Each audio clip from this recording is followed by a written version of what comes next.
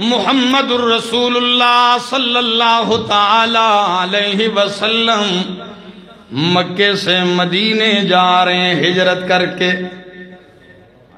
अहले मदीना इस्तकबाल कर रहे हैं। बड़ा शानदार इस्तकबाल है। बच्चियाँ फूल बरसाती हैं, पत्तियाँ बरसा रही हैं। और जुबानों पे इस्तकबाल करते हुए क्या कहते हैं? तला अल बदरो अलैना तला अल बदरो अलैना तला अल बदरो अलैना, मिन सनियातिल वदाए, वजब शुक्र अलैना मादा लिल्लाहि, दाए तला अल बदरो अलैना। आज तो हम पे चौदहवीं का चाँद तुलू हो गया है। ये नगमा गाती जा रही हैं, फूल बरसाते जा रहे हैं सहाबा की बच्चियाँ। लेकिन इसी जमगठे में एक पैगंबर का सच्चा मुहिबदार एक नौजवान लड़का है। लड़कपन में है, जवान भी नहीं हुआ। नौखेज लड़का है, वो नबी करीम को यूँ देख रहा है। आप ऊंटनी पे सवार हैं? यूँ देख रहा है खुदा जाने कितना तरसा होगा दीदार के लिए। देखता है, जब उसे धिक्के लगते हैं ना, इधर आता है तो फिर यूँ देखने लगता है। दाएँ बाएँ से धिक्के लग रहे हैं वो, लेकिन नज़रें हटाता नहीं चेहरा मुस्तफ़ा से। टिक टिकी बांधी हुई है चेहरा मुकद्दस पे। नबी ये करीम उसका नज़ारा देखते हैं। तो एकदम फरमाया, मालक या गुलाम। ओ लड़के क्या ख्याल है? क्या कर रहे हो? इतने गौर से जो देख रहा है तो पता है डरा नहीं। डरा? एकदम कहने लगा या रसूल अल्लाह हुब्बन जम्मा आपसे जी भर के मोहब्बत करता हूँ और कुछ नहीं। मोहब्बत करता हूँ। बेधड़क एक लड़के ने इतनी बड़ी बात कह दी। फरमाया अच्छा मोहब्बत करते हो? जी हाँ। जी, ऐसी मोहब्बत तो नहीं चलेगी, मैं तो इम्तिहान लूँगा। मोहब्बत का? इम्तिहान लूँगा। कहने लगा, आप इम्तिहान लीजिए, मैं देने को तैयार हूँ। फिर मैं अच्छा जल्दी जाओ, अपने बाप का सर कलम करके लाओ। ये जुमला कहा ना सन्नाटा छा गया। ये क्या हो गया? बस सन्नाटा छाया लड़के ने तलवार निकाली, कहने लगे, या रसूल अल्लाह अगर आप राज़ी हैं, आपका हुक्म है तो मैं कायनात का हर रिश्ता कुर्बान करने के लिए तैयार हूँ। कूद पड़ा, जो ही कूदा। नबी करीम ने फरमाया ठहर जाओ ठहर जाओ, वापस आ जाओ, वापस मैं औलाद से बाप कत्ल करवाने नहीं आया। मैं तो तेरी मोहब्बत को कायनात पे ज़ाहिर करने आया। जो मुझसे मोहब्बत करते हैं तो वो किसी हद से भी गुजर सकते हैं। अल्लाह अकबर वापस आ आ गया। आप पहुँचे अबू जर। अब अबू अयूब अंसारी के घर में ठहरे। दो चार दिन गुजरे फरमाया वो लड़का नज़र नहीं आ रहा। इतनी मोहब्बत जो कर रहा था, नज़र नहीं आ रहा। साहबा ने फरमाया के पाक पैगंबर, वो बीमार है। और मदीने का रिहायशी नहीं, चंद किलोमीटर के फासले पर है। मौतो हयात की कश्मकश में है। कुर्बान जाओ इमाम फरमाते हैं, आओ मेरे यारो बीमार पुरसी के लिए चलते हैं। मोहब्बत ने कहाँ से कहाँ तक पहुँचा दिया?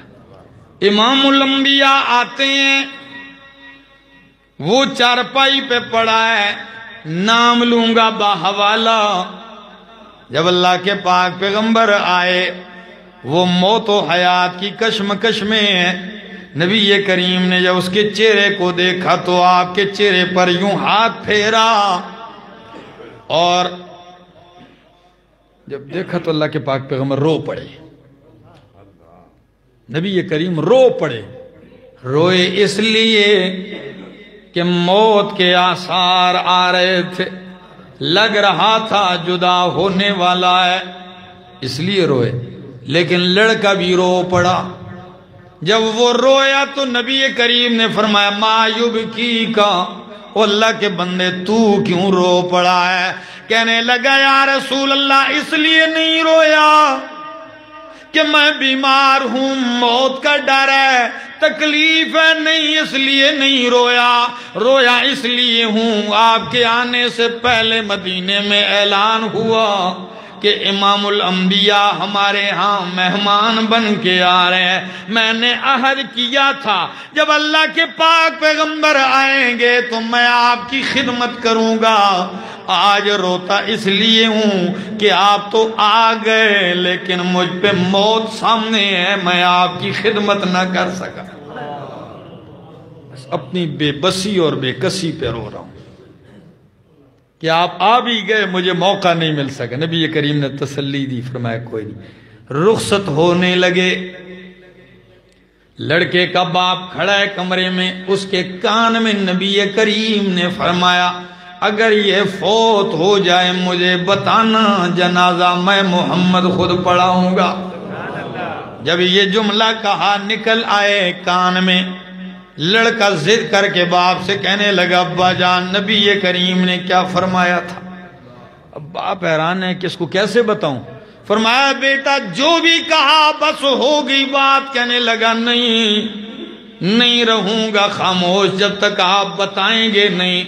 बाप मजबूरन हो के कहने लगा, बेटा अल्लाह के पाक पैगंबर कह के गए हैं कि अगर आप फोत हो जाएँ तो मुझे खबर देना, जनाजा मैं खुद पढ़ाऊँगा। ये बात सुनने की देर थी, रो के कहने लगा, अब्बा जान, लेकिन ये तो नबी करीम की नवाजिश, जर्रा नवाजी और मोहब्बत है। मेरी वसीयत ये, अगर मैं मर गया, मुझे यूँ दफन कर देना, नबी करीम को तकलीफ़ ना देना। बाप ने कहा, बेटा, ये आप क्या कहते हैं?